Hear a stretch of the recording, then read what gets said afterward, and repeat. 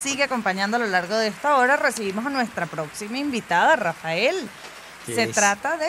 Aglaya Berluti, crítico de cine. Y vamos a conversar sobre las mejores películas navideñas en esta época. Te saludamos, Aglaya. Bienvenida, buenas tardes. Aglaya, ¿nos escuchas? No, está, está muteada, está... Sí, pero igual creo que no nos está escuchando. Pareciera que no nos escucha. Bueno, tenemos una selección de películas eh, que, que están disponibles. Aglaya, ahora sí nos escuchas. Ahora sí nos escuchas. Ok, muy bien. No te escuchamos, A- Aglaya. Bueno, vamos a tratar de resolver este pequeño inconveniente técnico, hablando de quizás eh, esas listas de películas nuevas que están disponibles en plataformas que tienen como, como eje central la Navidad y además destaca entre lo que tenemos acá preparado por nuestra productora que también hay películas de terror navideño que. Aglaya recomienda. Eso es un género que yo no Bueno, asocio a esta No, temporada. para nada. ¿Nos escuchas, Aglaya? Bueno, vamos a hacer Va- este la vamos a contacto llamar por teléfono. vía sí. telefónica porque el Zoom no está colaborando con la producción de este programa para poder conversar con Aglaya Berluti, crítico de cine. eh, que además yo tengo que decir que, que esta es una época en la que por lo general eh, uno apela a, a la nostalgia de esas películas viejas. Siguen las reproducciones, por ejemplo, de, de mi pobre... eh, Daniel el no, no es Daniel el Travieso, mi pro angelito, ¿será? Eh, incluso la, la segunda tiene un cameo del expresidente Donald Trump antes Ah. de que sus aspiraciones de llegar a la presidencia se materializaran, eh, que siguen siendo clásicos navideños y se han convertido Sí. en íconos. Y otro, otro clásico navideño, que hay muchas películas, eh, dos personas que están solas y se conocen y se inicia una pareja dentro del ambiente navideño.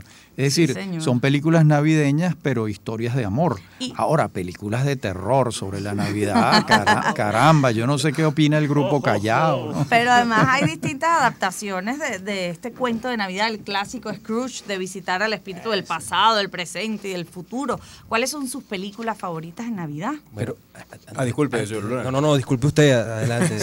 No, yo iba a decir que simplemente cuando pienso en terror navideño me imagino como una especie de Santa Claus, de Santa Claus como, eh, no sé, nervioso, no, podría ser como un Jason, pero Santa Sí, Claus, claro.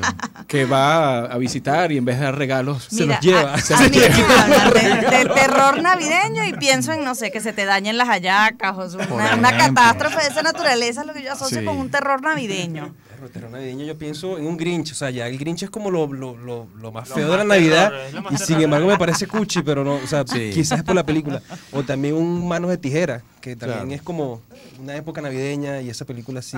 No, yo creo que lo peor que puede pasar en Navidad son unas hallacas piches. Sí, exactamente, yo coincido. ¿eh? Totalmente Para mí eso es terror Total. navideño. Aglaya, ahora sí te tenemos en línea telefónica. Aglaya, bienvenida, buenas tardes. Hola, ¿cómo estás? Buenas tardes, que accidentado todo. Bueno, cuéntanos, ¿qué películas recomiendas para la Navidad? ¿Qué Bueno, es yo esto de terror escuch- navideño? Ah, bueno, yo los estaba escuchando un poco antes de que se cayera la conexión. Y el asunto es que yo creo que la Navidad, la interpretación cinematográfica de la Navidad ha cambiado muchísimo, ¿no? Porque, por ejemplo, está todo este tema de enfocarlos desde sus figuras, como la española, Reyes contra Santa, que es básicamente enfrentar a dos culturas. O sea, enfrentamos a Santa Claus contra este, los Reyes Magos, que son los que llevan los regalos en España. Entonces, esta película que pueden ver en Prime Video, básicamente es como que, ¿qué pasaría si los Reyes dijeran, oye, me estás quitando el puesto? Ok. Entonces, es muy, muy graciosa porque además los actores se lo toman extremadamente en serio. O sea, no es una parodia, es una super seria, ¿no? Que yo creo que es lo que hace que sea más divertida. Después está, este, por supuesto, Navidad es ideal para, como comentaban antes, todo lo que es nostalgia. Y el diario de Noel, que lo pueden ver en Netflix, que además es el chico este que hace este de Kevin en This Is Us, Ajá. Ujú. es súper, súper, súper dulce. O sea, este es un hombre, un escritor que tiene una relación totalmente complicada con mamá. Mamá se muere, entonces él regresa a la casa y empieza a encontrar que mamá era una persona totalmente distinta. Obviamente, en medio de todo esto está la Navidad, que yo creo que es una época ideal para estos reencuentros, aunque sea a nivel abstracto. Y la película lo narra muy bien, ¿no? También yo recomendaría para esta época Navidad en 8 bits, que los pueden ver tanto en HBO Max como si tienen el servicio HBO por cablera, la están acaban de estrenar ahorita en, en cualquiera de, las, de los servicios de HBO Sur, HBO Norte. Y básicamente es cómo pasábamos la Navidad de los 80. ¿Cómo es? Sí, a mí me encanta porque este, yo fui niña Nintendo. Claro. Y este, para mí el asunto del Nintendo era lo más importante que existía. Y realmente cuando me regalaron la Nintendo fue lo máximo. ¿Qué es lo que cuenta? Yo creo que todos nos vamos a sentir identificados. Porque es una película que está enfocada exclusivamente a hacernos sentir viejitos, ¿no? Sí. Bueno, sabes que ahora que comentas esto y, y Navidad en 8 bits, tengo que confesar, mi esposo me tiene recorriendo todas las tiendas de luces y de Navidad en la ciudad porque él está empeñado en conseguir unas luces de colores que tenían la cajita con la música de las canciones, que además suenan muy mal porque eso es una corneta que no se escucha, Horrible, es un un sonido metálico, pero para él eso es el sinónimo de la Navidad de su infancia. Es que claro, este, eh, y luego la Navidad cinematográfica va cambiando así, porque ¿qué es lo que ocurre? Antes nuestra Navidad era los regalos, las cenas. ¿Qué es lo que ocurre? Que ahora las distancias se han alargado. Entonces hay toda una nueva cantidad de versiones de la Navidad que implican reencuentros en aeropuertos y es donde viene lo del género del terror que me estaban comentando al principio. El género es que a mí me da mucha risa porque yo cuando recomiendo películas de terror de Navidad la gente se me queda viendo con cara de eso es incompatible. En realidad es muy compatible porque la Navidad, bueno, para empezar toda esta costumbre proviene de, este, de Charles Dickens que por muchísimo tiempo en Inglaterra una de las costumbres navideñas era sentarse a leer cuentos de terror el 24. Ah, qué, qué apropiado, ¿no? Bueno. Entonces, lo cierto del asunto es que cuando él escribió un cuento de Navidad, él reconstruyó todo eso, pero esa raíz de que nos sigue pareciendo como que la época apropiada para hablar de cosas tenebrosas, porque aparte suenan menos fuertes cuando estás junto al arbolito, se refleja en, el- en un nuevo tipo de películas, ¿no? Está, por ejemplo, eh, una que van a encontrar en Prime y que le va a gustar a los amantes del terror, que se llama Rey de Sport, un cuento gamberro de Navidad. Tiene su nombre españolete y todo, ¿no? Aquí es lo que yo siempre me he preguntado, yo creo que todos los niños nos preguntamos alguna vez, bueno, si San Nicolás vive en el polo, ¿cómo aguanta? Aquí es que resulta que, que, que Santa Claus es una criatura malvada. Ok. Y cuando la sacan, obviamente, de- del lugar donde está, es terrífico. Entonces, yo creo que, yo la primera vez que vi la película, yo dije, si yo tuviera un hijo, nunca lo dejo ni acercarse a esta película. Claro, imagino. Y esta noche de paz también, ¿no? No, ese, ese además es muy divertida porque este Santa Claus, yo creo que una de las cosas que más se ha preguntado el cine es de dónde proviene Santa, ¿no? Santa es una figura que pareciera temporal, pero en la película le dan un origen vikingo. Sí. O sea, te lo medio insinúan de que él de alguna forma está pagando una deuda eterna por un- años de violencia, entonces se convirtió en la figura de Papá Noel. A mí me pareció desconcertante vikingo porque de todas las culturas la menos navideña es esa, ¿no? Pero bueno.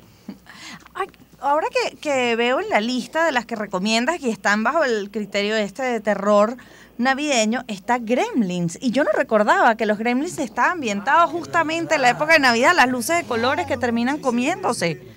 No, y ni siquiera. O sea, em, es que toda la película es muy burlona. Bueno, esta película tiene una anécdota que a mí me parece graciosa, que es un tema que cuando se estrenó estaba solamente la clasificación A y para adultos, ¿no?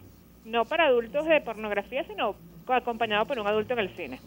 Pero como la película era de muñequitos y también era violenta, tuvieron que cambiar para la siguiente que hizo esa gracia, que fue la de Indiana Jones y el Templo Perdido, el- la clasificación. Pero todo empezó con esta película de Joe Dante, que tiene otra cosa. Todo el mundo cree que la dirigió Steven Spielberg. En realidad la dirigió Joe Dante. Mm. Y es súper interesante porque es una leyenda alemana, o sea, los Gremlins en realidad son, este, digamos que los duendes malos alemanes, ¿no? Todo este asunto de guismo y todo esto es agregado. Pero bueno, eso, eh, a mí me parece como que tan simbólico de la cultura que sean duendes alemanes que estén especializados en destruir cosas tecnológicas. Bueno, qué curioso. Y duendes hay en muchísimas culturas. Sí, no, claro, es que yo creo que una de las cosas más bonitas de toda esta colección de, de películas que no son realmente relacionadas con Navidad, sino que sacan un lado poco conocido, es esto de conocer cómo ven la Navidad en otras partes. Por ejemplo, está el Krampus. El Krampus es una creencia alemana nórdica que básicamente es como la versión tenebrosa de, de Santa Claus. Si Santa Claus te premia, el Krampus te castiga. Mm, ok. Entonces, es terrorífica. Sacaron hace cuando, cuatro años una película que fue un éxito y sacaron unas de bajo presupuesto, que no son tanto, pero igualmente conserva la idea de que hay un monstruo navideño. O sea, que yo creo que es una idea revolucionaria a ese sentido, ¿no? o sea, el, el que entrega el carbón. El que entrega el carbón y de paso te lleva en, el, la mochilita, ¿no? Bueno. Muy bien, bueno, muy interesante todo esto, Aglaya. Has dado un recorrido sobre las películas de Navidad.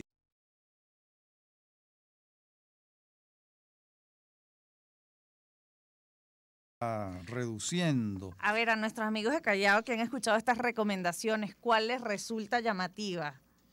Bueno, a mí me encanta de toda la vida los Gremlins, ¿no? Mm. Es, sí, es un clásico. Es un clásico que representa la infancia de muchos, eh, la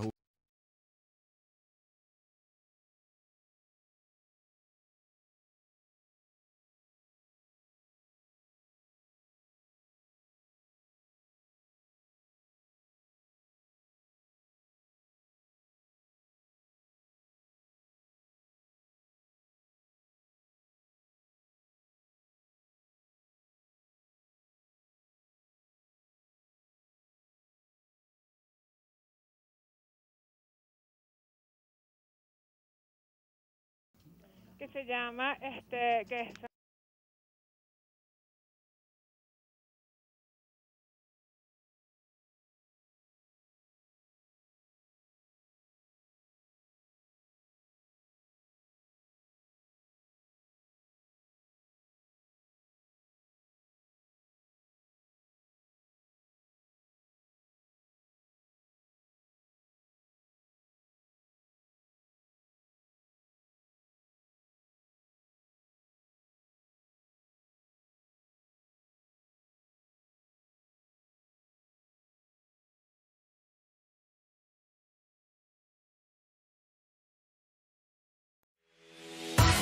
Sonidos que te llenan de alegría.